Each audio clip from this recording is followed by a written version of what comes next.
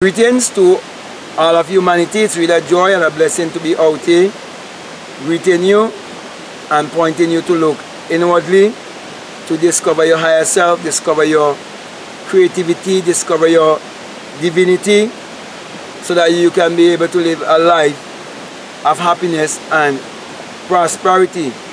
That's the reason why I want to speak to you concerning our ancestor Abdullah and how he taught Neville Goddard the law of uh, polarity. Now the law of polarity states that everything has its opposite it has, everything has its opposite. So you have to understand everything is shadow and reality. Also you have to understand that the Bible addresses the human mind and must be interpreted psychologically. That the Bible is not literal, neither is the Bible secular history.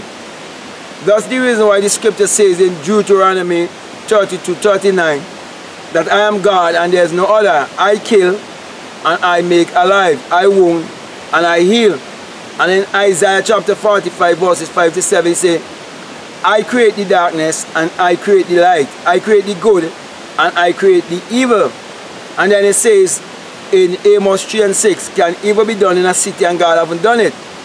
Now, the reason why I choose to speak on the polarity, it is because it is of high concern to me to see how much people believe that God is good all the time and that all the time God is good. And in many many times in church they say God is good and the congregation will say all the time and then they will say all the time. The pastor will say all the time and the congregation repeat God is good. Okay? But when you read the Bible, you see they're actually contradicting the Bible. And the reason why they're doing this is because they do not know who is God. Many believe that God is a power outside of themselves. Many believe God is a man in the sky. But very few fail to realize that it is their own thoughts that is creating their reality. And that God represents the human imagination, which is the creator in man. That's the reason why St. John 1 G says, without him, which is speaking about your imagination, there isn't anything made that was made, and that all thing was made by him. Many people believe that him is speaking of a man 2,000 years ago. Many people believe that that him is speaking about a man named Jesus Christ, a literal man. But that him is just a personification of the human imagination.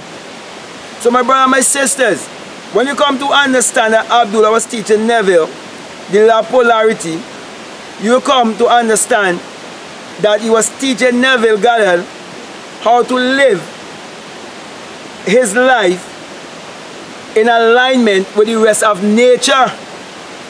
How to live his life in alignment with the laws that governs the universe and governs humanity also. Because when you understand the law of polarity, you will not get caught up in things like race and have hatred for another based on his skin color. But unfortunately, when you grow up in a background like me, and you've been taught to believe a certain way, there's no way you can reach out to a people without mentioning what has been done to them and who would have done it to them and how they can free themselves.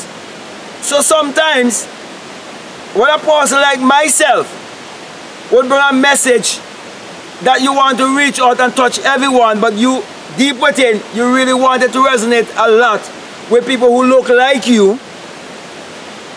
when you bring certain things to the surface, you have to do that to bring a state of awareness.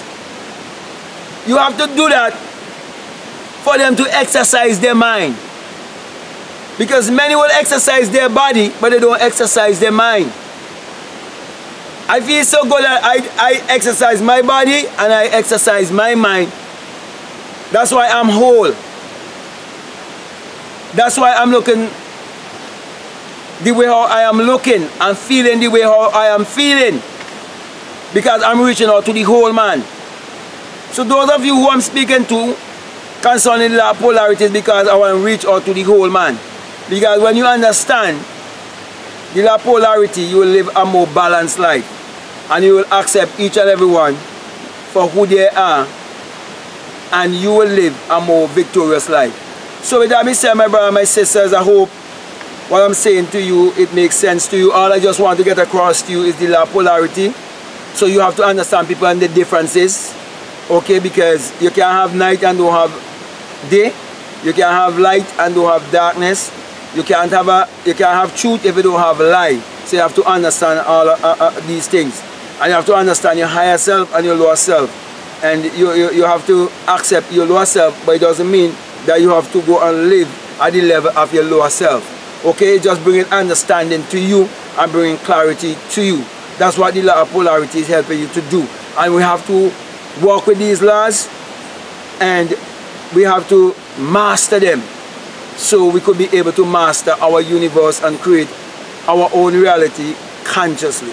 Okay, so with that being said, my brother and my sisters, I'm encouraging you to like or subscribe if this message has been resonating with you. And if you haven't subscribed as yet, I'm encouraging you to do so.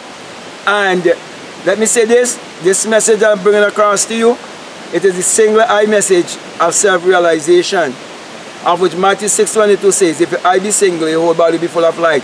I'm saying when you have that experience, my brother and my sisters, you burst your crown chakra and you come out in another form and you will experience the invisible and then you will be able to teach others about the invisible. That's the reason why I always put my hand on my crown chakra and say to you, when you have the experience, you come to realize that it is the rising of the S-U-N in a S-O-N and that is the dawning of a new day in your life. And you will also come to realize that there is no way a S-O-N could be the light of the world. And there's no way anyone can tell you that without the S-O-N there can be no life in this world. It's not just not the truth. When you have this experience, you will realize what they tell you about Jesus Christ as pointing you to a man that existed 2,000 years ago outside of itself is a lie. And you come to realize also that the human imagination parallels the sun and the sun parallels the human imagination. For without the human imagination, there isn't anything made that was made. And without the sun, there is no life and there is no light. And that the sun is what powers all of humanity. Therefore, my brother and my sisters, I'm encouraging you to use your mind power to create your reality consciously. So with that being said, I want to say peace, love you all, I'm out.